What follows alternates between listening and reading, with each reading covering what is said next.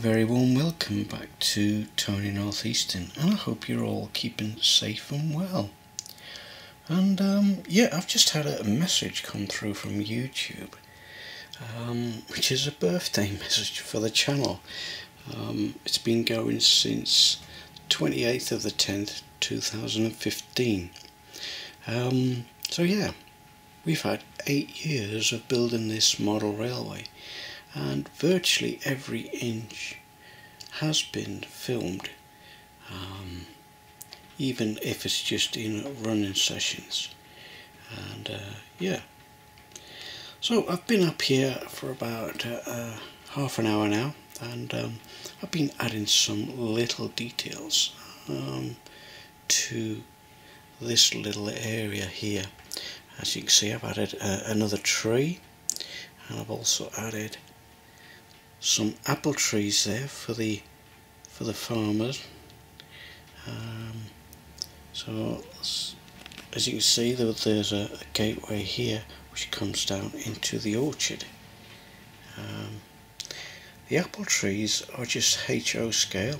Um, I mean apple trees come in various sizes but I would say that these were the small um, well maintained apple trees. Well, they're not very tall, um, but yeah. So we've added some more extra details to the Jarrow Road area, and uh, I've added some bushes there next to the signal box, and I've also added a little detail to the plate layers hut. Um, don't know if you can spot it. Yeah, you guessed it. It's the barrel there alongside with a downpipe going into the barrel. So that's another little little uh, detail. So I would say now that the station area, apart from a few more figures, is complete at Jarrow Road. Um, the farm. Um, it's not quite finished. Uh, it needs a few other little details. I've got some chickens and geese there which I've just got to scatter around the farmyard. And uh, yeah. So we're slowly and surely finishing this long project of Jarrow Road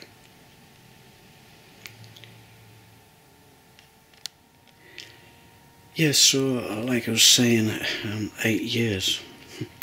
It uh, it hardly seems like it. It's, you know, when you when you spend as much time as I have up in the loft. Um, obviously, I don't spend as much time as I used to. But um, yeah, um, two years of that, or almost two years of that was um, building the station over there, the South Shields station.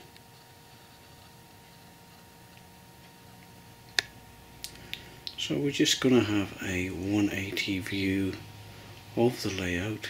Um, there's a lot of barren um, places on the layout.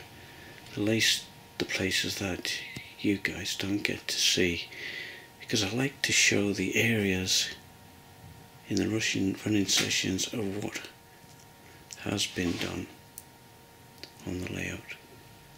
And um, virtually every inch of this has been filmed during the making and through running sessions.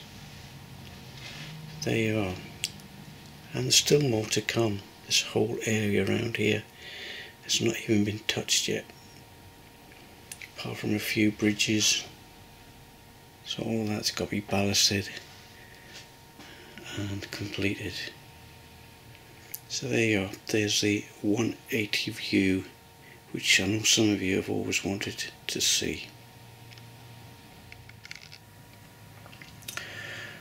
What I do like about uh, the fact of building this model railway and putting it on YouTube is the amount of people that I have met through YouTube and even through the comments, um, which really does keep me going through this um, build, if you like. So, um, yeah, so it's all down to you guys, and thank you very much for all your support. And uh, long may it continue.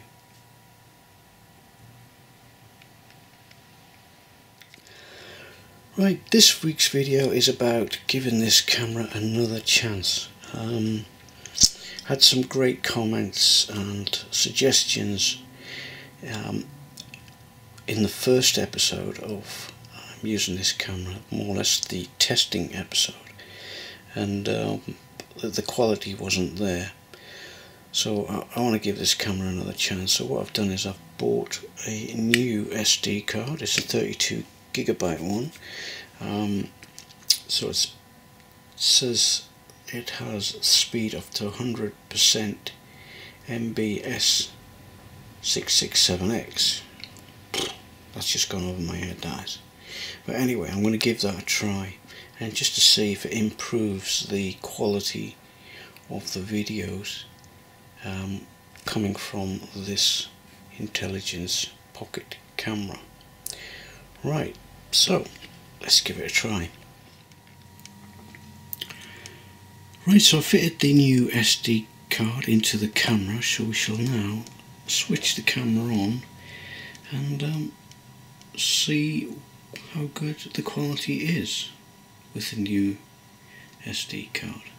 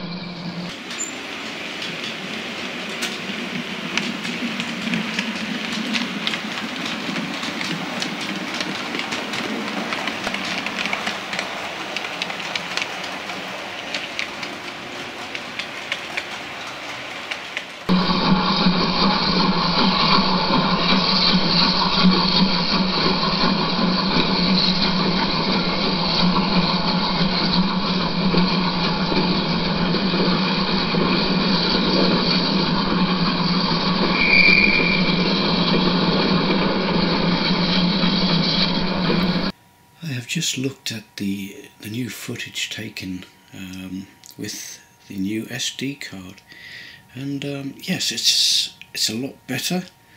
Um, the quality and the clarity is still not there what the camera provides, but um, it was worth a try, and I am a one that likes to try new things. So yeah, the SD card is a big improvement, but you get what you pay for when you're buying cameras, I guess and uh, yeah. So it'll do for now until a newer camera comes along. At least now I've getting the hang of using such cameras. Right so I think that's all from me this week and um, hopefully next time we shall continue building the signals that we need for the South Shields station. But until then take care everybody and Thanks for watching. Bye for now. Bye.